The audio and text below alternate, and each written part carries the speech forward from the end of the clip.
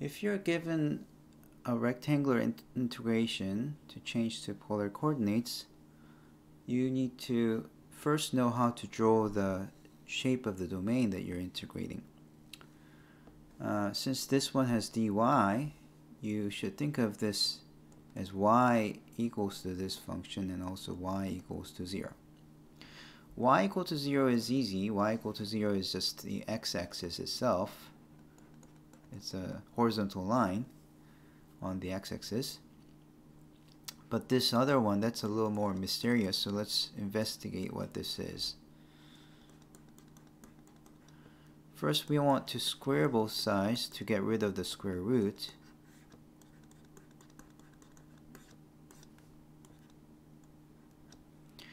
And square roots squared will cancel and negative becomes positive, so you end up with y squared equals to 4x minus x squared.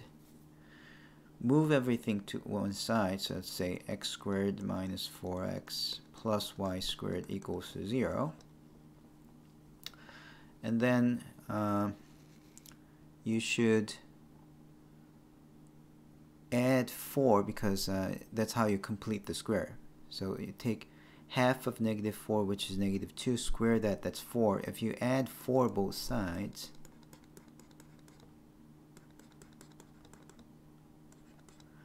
then this becomes a complete square, which is x minus 2 squared plus y squared equals to 4 is 2 squared. And this is actually a circle equation. So this is a circle centered at 2 comma 0. There's no shifting in the y direction, but you go two steps in the right if you have x minus 2 in place of x, right? So you have uh, centered at 2 comma 0 and then uh, you have let's see uh, radius is 2 so the graph you get is a circle of radius 2 centered at 2 so it's going to be a circle that touches the origin and it goes until 4.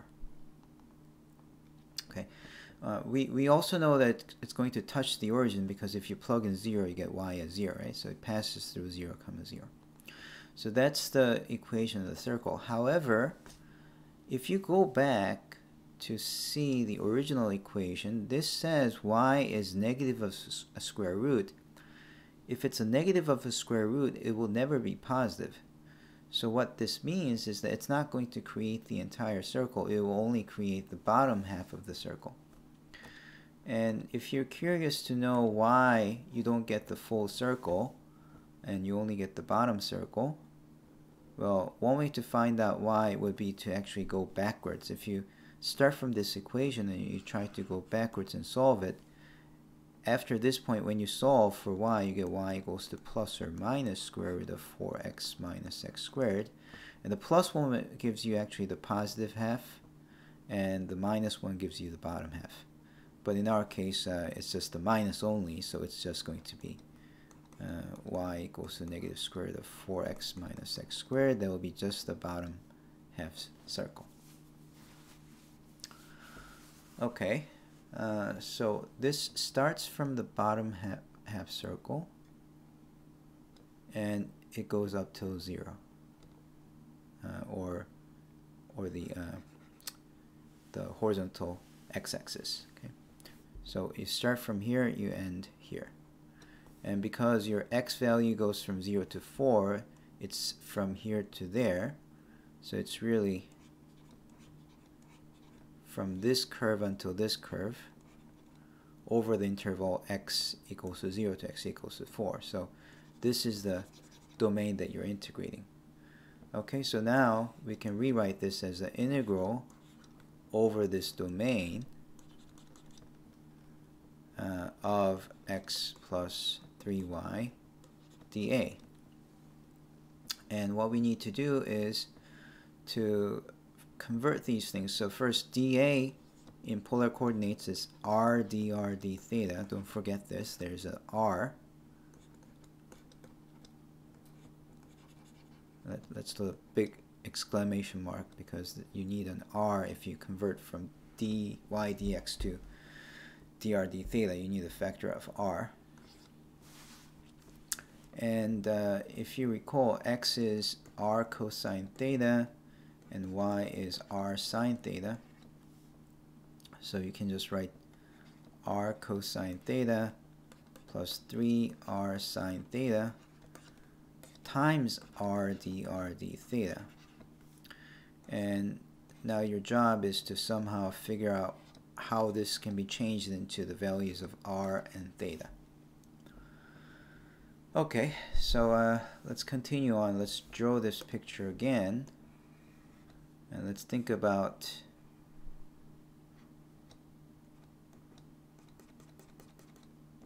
let's think about how to write this in terms of the polar. Uh, so we go back and take this equation, uh, or, or this equation here, which says uh, you have x squared minus 4x plus y squared equal to 0, describes this circle. Okay, Actually it gives you the full circle, but uh, we'll, we'll think about how to just get the bottom half later. Uh, so I need to convert this into polar and to convert this into polar, you need several identities. Uh, and in this case, you just need two. One is that r squared is equal to x squared plus y squared. Uh, you probably know that r is square root of x squared plus y squared, right? Uh, but if you square this, you get you get this. Okay. Another thing is that x is equal to r cosine theta. So I can take x squared plus y squared and rewrite r squared and then minus 4. Instead of x, I can write down r cosine theta. Okay, now uh, if you factor the r out, you end up with either r being equal to 0 or r minus 4 cosine theta equals to 0. This second one is r equals to 4 cosine theta. And r equals to 0 just gives you this origin, right? Uh, regardless of the angle, if your r is 0, you just end up having this point only. So this is not the one that you want, and rather it's this one. And if you recall that uh, if you have r equals to some uh, length a times cosine or sine n theta, and if n is odd, you get rose with n petals, right? If n is odd, okay? And uh, it will be rose with two n petals if n is even, right? And in our case, it's just 1 times theta, so it's just rose with one petal. What's a one petal rose? It's just a circle. So uh, we we know it has to be a circle because we start with the circle equation, right? So this this actually does agree uh, with what we wanted. This indeed gives you this circle. Since it has to create this, it's probably the circle that gives you the entire thing. But for us, uh, the theta, angle theta goes from here until there.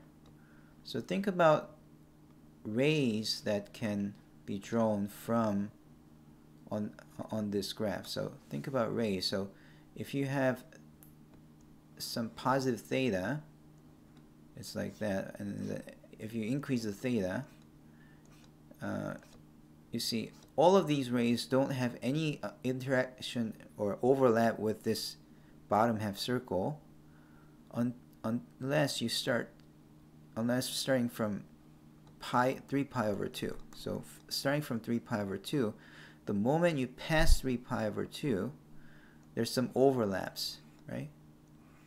And it's clear once you go here because you start from 0 and you end at this curve, right? And you can go up to 2 pi. So from 3 pi over 2 to 2 pi, uh, these rays have some overlaps and uh, so so that's that's one thing you should write so the first thing is that theta should be between 3 pi over 2 to 2 pi. And uh, if you do have your theta between these, then uh, all these rays start from r equals to 0 to this curve at some point on this curve. But what is this curve? This curve here, we just found it. It's r equals to 4 cosine theta. So uh, you go from r equal to 0 to r equals to 4 cosine theta. Okay, so we put that into the uh, r value. So what did we have? We had uh, uh, r cosine theta plus 3r sine theta times r dr d theta. That's what we had. And we just had to uh, put things in here, right? Now, one thing that you have to know is that when you have dr, dr means uh, increasing in the in uh, so r is the distance from the center. So if you have any point on the polar coordinate system, the distance to the origin is r. So if you slightly increase r, you get a radial direction increase. Okay, so to integrate something in dr direction, that means you're trying to paint your given region radially. So if you have this region and you're tr trying to paint this with dr inside, that means you're painting it ra radially. So uh, imagine, uh, well, uh, imagine you're painting this region with a paintbrush and you're instructed to always start from zero and then you start painting in a radial direction. Okay, so it has to be a ray emitting from this center. That's what dr being inside means. Okay. And clearly, if you do this, then you see that you always start with r equals to 0, and then you end at this curve, right? And that curve is uh, this thing, r equals to 4 cosine theta, so you put 4 cosine theta. And then theta goes from 3 pi over 2 to 2 pi, and that's it. That's how you uh, convert a polar uh, convert rectangular into this polar coordinate integration. Okay, that was uh, pretty tough.